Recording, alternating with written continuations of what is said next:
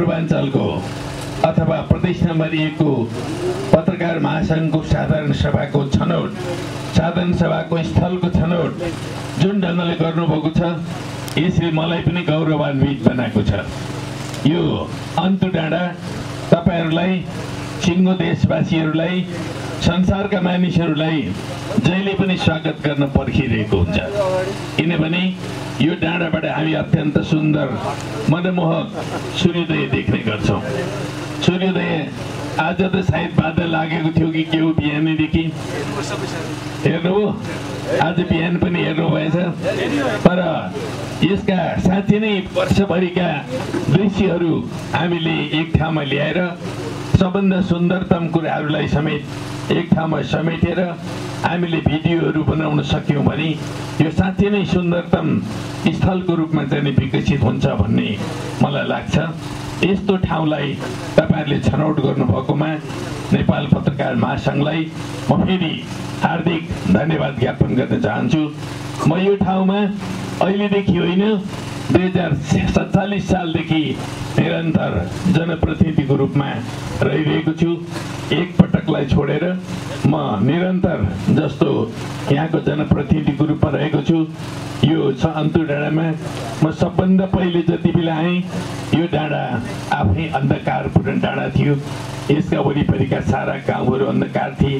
यहाँसम्म कि पारिदेखि नै हाम्रो पशुपति नगर पनि अन्धकार थियो। फिक्कल पनि अन्धकार थियो त्यति बेला हामीसँग बिजुली थिएन। म जति बेला जनप्रतिनिधि थिएँ। तर यहाँबाट पूर्वतिर हेर्नुभयो भने झिलिमिली संसार देखिन्थ्यो त्यो झिलिमिली देख्दाखेरि हामीलाई विरह चलेर आउँथ्यो। तर अहिले बिस्तारी बिस्तारी यी केही दशकहरूमा परिवर्तनहरूका लहरहरू अगाडि बढ्दै गएका छन्। बिस्तारी परिवर्तन आउँदै गएको छ। हाम्रा गाउँघरहरू पनि अब झेलिमिली हुन थालेका छन्। हाम्रा गाउँघरहरूमा पनि नयाँ चहल पहलहरू सुरु भएको छ र क्रमिक रूपले विकासका र निर्माणका कामहरू पनि अगाडि बढ्दै गएका छन्। तर अझै पनि हामीले यो अन्तु डाँडाको विकासलाई जुन उचाइमा पुर्याउनु पर्ने थियो त्यो उचाइमा अझै पुर्याउन सकेका छैनौँ। आज मलाई यो ठाउँमा प्रमुख अतिथि भएर उभिएर यति कुराहरू बोलिरहँदाखेरि एकदमै अप्ठ्यारो लागिरहेको छ। के कुरामा अप्ठ्यारो मलाई लाग्यो भने आज पत्रकारहरूको यत्रो ठुलो जुन भेला सम्मेलनीय भइरहेको छ साधारण सभा भइरहेको छ त्यसको लागि हामीले एउटा सामुदायिक भवन पनि अझै बनाउन सकेका छैनौँ। एउटा सभास्थल हामीले बनाउन नसकेको कुराप्रति मलाई अझ अफसोस छ। र म यो अफसोसको साथसाथै के कुराको प्रतिबद्धता तपाईँहरू समक्ष व्यक्त गर्न चाहन्छु र हाम्रो यहाँको मेयर खास गरी सूर्योदय नगरपालिकाको मेयर हाम्रो आरबी राईलाई म यहीँबाट के कुरा भन्न चाहन्छु भने आरबी भाइ चाँडोभन्दा चाँडो एउटा प्रस्ताव बनाइहाल्नुहोस् र यही सालदेखि हामी निर्माणको काम थाल्ने गरौँ। अब आउने बजेट आउँदैछ एउटा सामुदायिक भवन हामी बनाइहालौँ। यो बनाउनु अत्यन्त जरुरी छ भन्ने मलाई लाग्यो। त्यसै गरी अब हाम्रो देश अहिले जुन अवस्थाबाट अगाडि बढ्दैछ हामीहरू एउटा नयाँ युगबाट अगाडि बढ्दैछौँ। हामीले लामो समयसम्म अनेकन प्रकारका तानाशाही र अधिनायकवादी शासन व्यवस्थाहरूलाई पार गरेर आयौँ। हामीले राणा शासन पार गरेर आयौँ। हामीले राजतन्त्रको युगलाई पार गरेर आयौँ। हामीले पञ्चायती व्यवस्थालाई पार गरेर आयौँ। यस्ता अनेकन तानाशाही व्यवस्थाहरूलाई पार गरेर आयौँ। र तपाईँ हामीले बैसठी त्रिसठीमा गरेको आन्दोलन यो सम्पूर्ण देशवासीहरूको आन्दोलन हो त्यो पत्रकारहरूको पनि आन्दोलन हो त्यो राजनीतिज्ञहरूको पनि आन्दोलन हो त्यो राजनीतिक पार्टीहरूको पनि आन्दोलन हो। अघि चन्द्र भण्डारी भाइले वास्तवमा यो ठाउँमा आजको सभामा भन्ने हो भने म भन्न चाहन्छु यदि तपाईँहरू अनुमति दिनुहुन्छ भने उहाँले किनोट स्पिच दिनुभएको छ। किनोट स्पिच मान्न चाहन्छु त्यसलाई। यो आजको यो सभाको किनोट स्पिच हो। उहाँले धेरै कुराहरू समेट्नु पनि भयो धेरै कुराहरूमा दिग्दर्शन गर्नु पनि भयो। है वास्तवमा हामी सबैले लडाइँ गरेर सङ्घर्ष गरेर बैसठी त्रिसठीको परिवर्तन प्राप्त गरेका हौँ। त्यो परिवर्तन हाम्रो देशको इतिहासमा अत्यन्त दूरगामी महत्त्वको परिवर्तन छ। यो परिवर्तन परिवर्तनलाई हामीले चाहन्छु नै परिवर्तनको रूपमा लिनु हुँदैन। यो परिवर्तन पछि पनि हामीले ख्यालठट्टा गर्न खोज्यौँ हेलचेक्रे ढङ्गले गर्न खोज्यौँ र मुलुकलाई ठिक दिशामा अगाडि बढाउन सकेनौँ भने यो देशकै दुर्भाग्य हुन्छ। सरकारको दुर्भाग्य मात्र हुने होइन। कुनै खास व्यक्तिहरूको दुर्भाग्य मात्र हुने होइन। कुनै खास पार्टीको मात्र दुर्भाग्य हुने होइन। यो राष्ट्रकै दुर्भाग्य हुन सक्छ। त्यसो हुनाले हामीले अत्यन्त गम्भीर भएर अगाडि बढ्नुपर्ने हुन्छ। हामीले बैसठी त्रिसठीको जो परिवर्तन गऱ्यौँ त्यो परिवर्तनपछि दस वर्ष लगाएर हामीले नयाँ संविधान निर्माण गरेका छौँ। यो संविधानले नेपाली मात्रका हक र अधिकारहरूलाई सुरक्षित गरेको छ सुनिश्चित गरेको छ। त्यो धेरै महत्त्वपूर्ण कुरा छ। त्यस कारणले संविधानको रक्षा गर्ने काम हामी सम्पूर्ण नेपालीहरूको यो देशमा जे जे व्यवसाय जे जे विषयवस्तुहरूमा हामी लागेर काम गरिरहेका छौँ हामी सबैको साझा दायित्वको रूपमा रहेको छ संविधानको रक्षा गर्ने काम। जसलाई हामीले निर्माण गरेका छौँ हामी नेपालीहरूले निर्माण गरेको संविधान भन्दा हामीले पहिलोपटक घोषणा गरेका छौँ एउटा गर्वपूर्ण घोषणा हो। एउटा सर्ग सगर्व हामीले त्यो घोषणा गरेका छौँ। त्यो संविधानलाई रक्षा गर्दै अब मुलुकलाई अगाडि बढाउने एउटा ऐतिहासिक अभिभारा हाम्रो सामु आएको छ।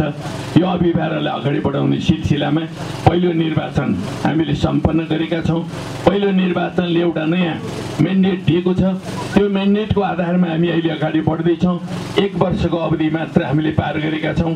वास्तवमा यो सरकार बिल्कुलै नयाँ सरकार पनि हो। नयाँ संविधान अनुरूपको नयाँ सरकार हो। त्यस कारणले यो सरकारले बडा होसियारीपूर्वक अगाडि बढ्नुपर्ने हुन्छ। र होसियारीपूर्वक अगाडि बढेर मात्रै संविधानले भने बमोजिमका गन्तव्यहरूमा हामी पुग्न सक्छौँ। संविधानले चारवटा कुराहरूलाई सुस्पष्ट ढङ्गले अगाडि बढाएको छ। यो चारवटा कुराहरू भनेको सबभन्दा पहिलो कुरा भनेको यो संविधान आफै एउटा लोकतान्त्रिक संविधान छ। यो संविधानले मात्रै वास्तवमा नेपाली मात्रलाई सबै प्रकारका हक र अधिकारहरूले सुसज्जित गरेको छ। यसले सरकार राज्यका तिनवटा अङ्ग मात्र होइन।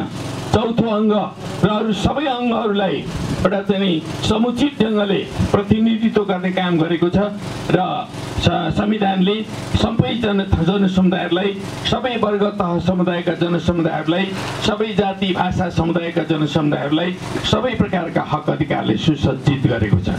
ती हक अधिकारहरू कसैले कुनै पनि हालतमा कटेल गर्न पाइने छैन र त्यो कटेल हुने छैन। हामी सबै नेपालीहरू एकताबद्ध भएर अगाडि बढ्नुपर्छ। त्यो कटेल हुँदैन। त्यसकारण म आश्वस्त गर्न चाहन्छु पत्रकार साथीहरूलाई पनि आश्वस्त गर्न चाहन्छु हामी यो संविधानलाई कसैले खुम्च्याउनु खोज्यो भने हामी त्यसका विरुद्ध हामी आफै लड्न चाहन्छौँ। हामी आफै सङ्घर्ष गर्न चाहन्छौँ। त्यस कारणले संविधान खुम्चिँदैन। अब हामीले पाँच छवटा कामहरूमा लागेर अगाडि बढ्नुपर्ने हुन्छ। पाँच छवटा कामहरूमध्ये सबभन्दा पहिलो काम भनेको लोकतन्त्रकै रक्षा र विकास हो। लोकतन्त्र हामीले जति मात्रामा प्राप्त गरेका छौँ यो लोकतन्त्र अझै पर्याप्त छैन। यसलाई अझै परिष्कृत गर्नुपर्ने यसलाई अझै परिमार्जित गर्नुपर्ने यसलाई जन जनसम्म पुर्याउनु पर्ने यसलाई जनतामा अत्यन्त सरल र सुलभ ढङ्गले प्राप्त गर्न सकिने चिज बनाउनु पर्ने आवश्यकता छ। तपाईँले एउटा मात्रै उदाहरण हेर्नुहोस्। अहिले निर्वाचनको पद्धतिलाई मात्रै हेरौँ। यो निर्वाचनको पद्धति अत्यन्त महँगो हुँदै गइरहेको छ। यो निर्वाचन पद्धतिको बारेमा रिभ्यू गर्नुपर्ने आवश्यकता छ। राष्ट्रव्यापी रूपमा हरेक राजनीतिक पार्टीहरूले रिभ्यू गर्नुपर्ने जरुरत छ। यदि यही मात्रै प्रणालीलाई गर्ने हो भने यो धनाट्यहरूको तन्त्र हुन्छ। यो जनतालाई गरिब जनताले लड्न सक्ने तन्त्र हुँदैन। म यो चाहिँ निर्वाचन क्षेत्रबाट लडिरहेको छु। म पहिला केही हजारमा चुनाव लडेको मान्छे हो। त्यसपछि बिस्तारै त्यो लाखमा गयो। अब अहिले त हुँदा हुँदै यो त लाखले चुनाव लड्न सक्ने सम्भावना देखिन छोड्यो। ए अब करोडतिर गयो भने मेरो हैसियत छैन हेर्नुहोस् म चुनाव लड्न सक्दिनँ। अथवा म जस्ता मान्छेहरूले चुनाव लड्न सक्दैन। त्यसो हुनाले चुनाव पद्धतिलाई हामीले नयाँ ढङ्गले सोच्नुपर्ने हुन्छ। लोकतन्त्रको एउटा महत्त्वपूर्ण पक्ष हो। त्यस्तै प्रेस स्वतन्त्रता अर्को महत्त्वपूर्ण पक्ष हो। यस्ता लोकतन्त्रका धेरै पक्षहरू छन्। यी विविध पक्षहरूलाई परिष्कृत गर्ने परिमार्जित गर्ने काम अझै हामीले गर्नुपर्ने हुन्छ र आजका नेपालीहरूले यो संविधान जारी भइसकेपछि नयाँ निर्वाचन आएर अगाडि बढिसकेको अवस्थाका नेपालीहरूले सोच्नुपर्ने पहिलो काम यो हो भन्ने मलाई लाग्छ। त्यसै गरेर दोस्रो कुरा भनेको हाम्रो देशको राष्ट्रियताको सुदृढीकरण। हामीले हाम्रो देशको राष्ट्रियतालाई सुदृढ गर्नुपर्ने हुन्छ। यो देशको स्वतन्त्रतालाई यो देशको सार्वभौमसत्तालाई यो देशको अखण्डतालाई हामीले सुदृढ गर्नुपर्ने हुन्छ। धेरै समस्याहरू छन्। अहिले पनि हामी एक्काइसौँ शताब्दीको दोस्रो दशक पार गर्दैछौँ। हामी दोस्रो दशकको पनि उन्नाइसौँ दुई हजार उन्नाइस सालमा आइपुगिसक्यौँ। अब एक वर्ष मात्रै बाँकी छ। तर अझैसम्म नेपालको सिमाना यति हो भनेर हामी अन्तिम रूपमा बोल्न सक्ने अवस्थामा छैन। कालापानी कसको हो? कालापानीको समस्या अझै विवादित अवस्थामा छ। हामीले स्पष्ट भन्न सकिरहेका छैनौँ। अरू धेरै ठाउँहरूमा समस्या छ। तपाईँ सुस्तामा जानुहोस्। थुप्रो समस्याहरू छन्। र त्यति मात्र होइन म तपाईँ पत्रकार महासङ्घका साथीहरू आज अन्तडाँडामा भेला आउनुभएको छ। तपाईँहरूले नभुलेर एकपटक पशुपतिनगर पुगेर जानुहोला। पशुपतिनगरको थाप्लोमा त्यहाँनिर एउटा हाम्रो दस गजा छ। त्यो दस गजाको ठिक बिचमा एउटा बौद्ध गुम्बा बन्दैछ। बौद्ध गुम्बा बन्नु हुँदैन। उसले उहिले कहिलेदेखि बनेको थियो त्यो पुरानो भएको रहेछ भत्किएको रहेछ। त्यसलाई फेरि बनाउने कामको थालनी भएको छ। मैले पटक पटक गएर त्यहीँ थलैमा गएर हेरेँ हेरेँ र यो कुरा बन्द गर्नुहोस् भने उताका मान्छेहरूलाई पनि भने अनि त्यो पनि स्टप भएन।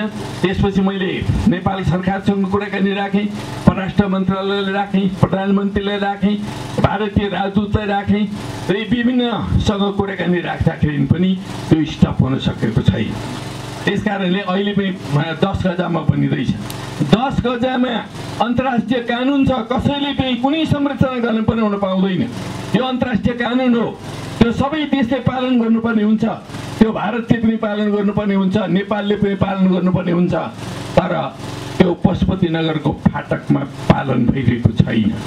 त्यस कारणले यस्ता कुराहरूलाई हामीले समाधान गर्नुपर्ने छ र तब मात्रै हाम्रो देशको राष्ट्रियता सुदृढ हुन्छ।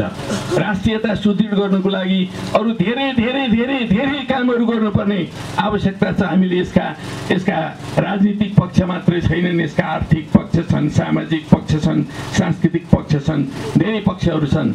यी गर्नुपर्ने हुन्छ। तब मात्रै हामी समाज संविधानले भनेका लक्ष्यतर्फ अगाडि बढ्न सक्छौँ। अर्थात् समाजवादका लक्ष्यतर्फ हामी अगाडि बढ्न सक्छौँ। हामीलाई संविधानले अब नेपाल संविधान समाजवादतर्फ अगाडि बढ्नुपर्छ भनेर भनेको छ। यो दोस्रो कुरा हो। तेस्रो कुरा भनेको सुशासन। सुशासन भएन भने वास्तवमा मुलुक अगाडि बढ्न सक्दैन। सुशासन दिनको लागि यत्रो ठुलो प्रहरी शक्ति छ। सशस्त्र प्रहरी शक्ति छ नेपाली सेना छ हामीसँग गुप्तचर विभाग छ। यो सम्पूर्ण शक्ति एकदमै राम्ररी सुशिक्षित भएर परिचालित गर्न सक्नु पर्यो सरकारले परिचालित गर्न सक्नुपर्छ। सुशासन दिन सक्नुपर्छ। र विभिन्न किसिमका क्राइमहरू अहिले पनि भइरहेका छन्। त्यसलाई नियन्त्रण गर्न सक्नुपर्छ। अघि साइबर क्राइमको कुरा आयो। हो साइबर क्राइम अहिले टेक्नोलोजीको विकासको कारणले प्रविधिको विकासको कारणले एउटा अत्याधुनिक क्राइमको रूपमा एउटा चाहिँ साइबर क्राइम देखा परेको छ त्यसलाई नियन्त्रण गर्नै पर्छ। निश्चय पनि साइबर क्राइम पनि एउटा क्राइम हो। त्यसलाई नियन्त्रण गर्नुपर्छ। त्यो नियन्त्रण गर्नुको लागि हामीले ऐन कानुन बनाउनुपर्छ त्यो ऐन कानुन बनाउने कुरा नाजायज कुरा हो भन्ने मलाई लाग्दैन। तर यसो गरिरहँदाखेरि हाम्रो स्वतन्त्र पत्रकारितालाई आँच आउने ढङ्गबाट यी कामहरू गरिनु हुँदैन। स्वतन्त्र पत्रकारिताको विकास विस्तार र अग्रगति जुन छ त्यो अग्रगतिलाई सुनिश्चित गर्ने ढङ्गले नै हामीले साइबर क्राइमका कुराहरूलाई सोच्नुपर्ने हुन्छ र पत्रकारितालाई मर्यादित कसरी बनाउने त्यो मर्यादित बनाउने दिशामा सोचेर मात्रै हामीले यी कामहरू गर्नुपर्छ भन्ने मलाई लाग्छ। अहिले जहाँसम्म विवादको कुराहरू अहिले आएको छ केही ऐन कानुनहरू बनाउने सिलसिलामा सरकारले अलिक गलत ढङ्गले मिच्ने काम गर्यो कि भन्ने मा पत्रकार महासङ्घले ठानिरहेको छ। यी विषयहरूमा अविलम्ब म के भन्न चाहन्छु भने सरकार र पत्रकार महासङ्घको बिचमा छलफल हुनुपर्छ वार्ता हुनुपर्छ वार्ताबाट यी समस्याहरू समाधान गर्नुपर्छ। हामीले ठुल्ठुला समस्याहरू हिजोका समस्याहरू वार्ता मार्फत हल गरेर आएका छौँ। र ठुल्ठुला समस्याहरू हामीले शान्तिपूर्ण क्रान्ति नै गर्नुपर्दा पनि शान्तिपूर्ण क्रान्ति मार्फत हामीले हल गरेर आएका छौँ।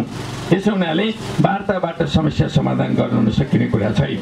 हाम्रो देश भनेको बाधे बाधे जायते तत्त्वबोधकको एउटा चाहिँ उद्घोष भएको मुलुक हो। यस्तो एउटा दार्शनिक सोचलाई दार्शनिक पद्धतिलाई विकास गरेको मुलुक हो यो। त्यसो हुनाले अहिले जति पनि समस्याहरू छन् ती समस्याहरूलाई पनि हामीले त्यसरी समाधान गर्नुपर्छ र सुशासन कायम हुनुपर्छ। हर क्षेत्रमा सुशासन कायम गर्ने कुरालाई हामीले दृढतापूर्वक ध्यान दिनुपर्छ। यो तेस्रो कुरा हो भन्ने मलाई लाग्छ।